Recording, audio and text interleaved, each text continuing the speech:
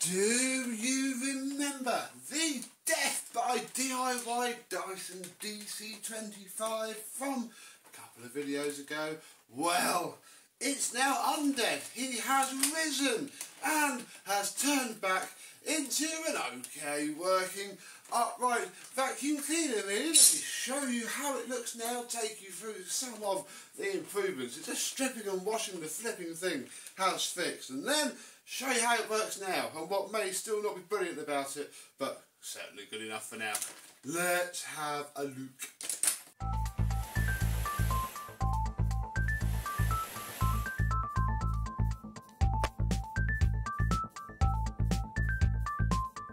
Yes, hello, my vacuum cleaner and Dyson chums. How are you today? Yes, bar, you know, the sand blasting that has occurred on some parts. I mean, the bin, I mean, I haven't done anything more than just rub it with Cif quite lightly and clean it. So, you know, it's not perfect. It is still very, very opaque, I guess. It's not see-through anymore, but it'll do the job.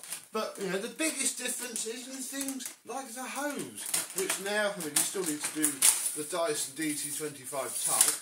In fact, we could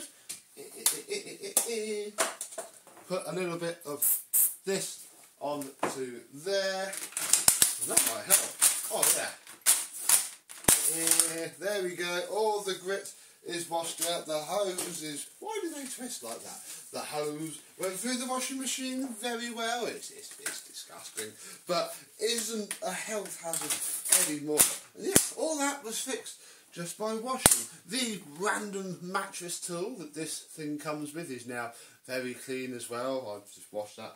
Because it was there, I always do, and yeah, the whole thing is incredibly boring.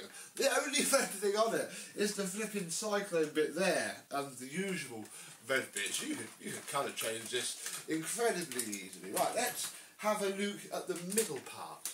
Again, some of the biggest improvements down here have been just by washing, obviously. All of this bit moves with the wand, and now it all turns very nicely indeed. This is what moves the suction from the wand to the bottom of the machine. All of that is now grit-free. I mean, again, just a wash has fixed it very nicely. If we recline it, find the filter opening tab, we shall see a brand new, use for 30 seconds to test, post motor filter fitted. Very nice indeed. As we know, the filters were pretty much going to be the death sentence of this thing if we hadn't have got to it again. And likewise, in the Cyclone, we have ourselves a brand new filter and a brand new Cyclone gasket in our wash Cyclone. I mean, all that cost literally under a tenner you have a DC25 and you haven't done that in over a year, I would just do it. Cyclone gasket is okay if you don't use them for DIY. If you do though, they go. Underneath is very heavily worn and yeah, that is a slight problem. It's also broken in a couple of places. So it's all glued back together, but the brush well, she is a little bit noisy. We shall notice that very shortly, I am sure. So yeah, for the pocket money worth of parts and a good strip and wash, this has now turned back into a Dyson DC25 that works really well which, subject to your opinion on Dyson DC25s, could be controversial or not. Oh, bless them. Right, let's plug it in and see how she runs. So, how well did this survive after its terrible ordeal? Well, let's take the hose off first and turn it on.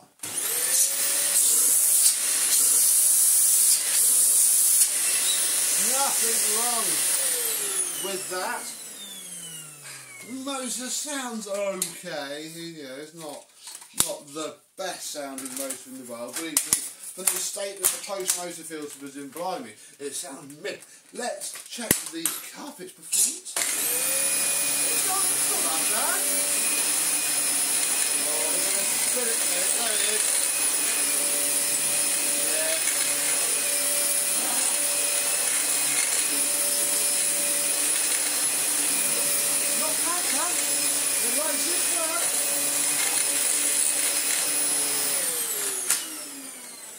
Bar that little rattle, I mean, look, I'm already going to have to get the airline out and blow all that fine dust off that has just accumulated in there. Yeah, I do, I do well, I don't like them, but I don't dislike a DC-25. They're okay, they're just of their time. And what I mean by that is this is the UP22 Dyson Light Ball, currently using it for the month, it's March, as I'm filming this, and these are basically the same machine. They're the same segment, same market, you know, overview. Same size, same weight. This is basically, yeah, if there's a DC-40 in the middle, we would have a lineup, but we don't, and that's fine. And bless it, this thing physically works okay. I mean, if you love it, it'll go on forever.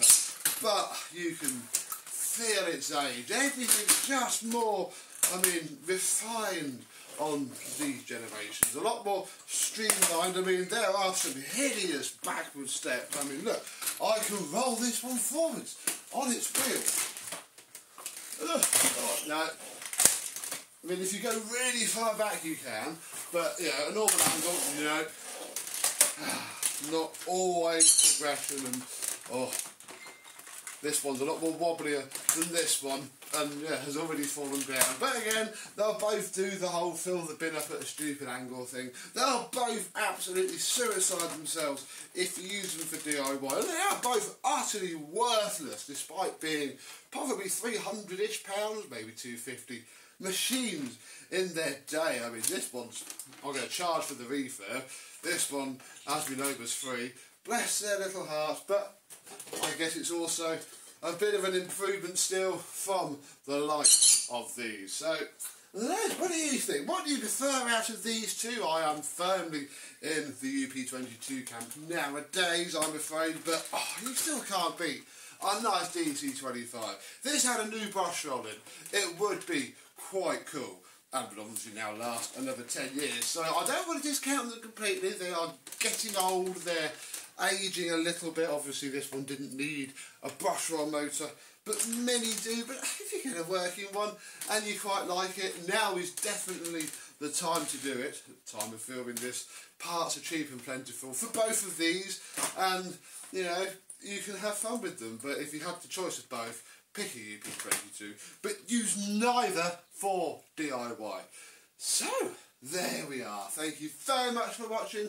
I hope you have enjoyed and I and some other dangerous Dyson We'll see you soon. Bye bye.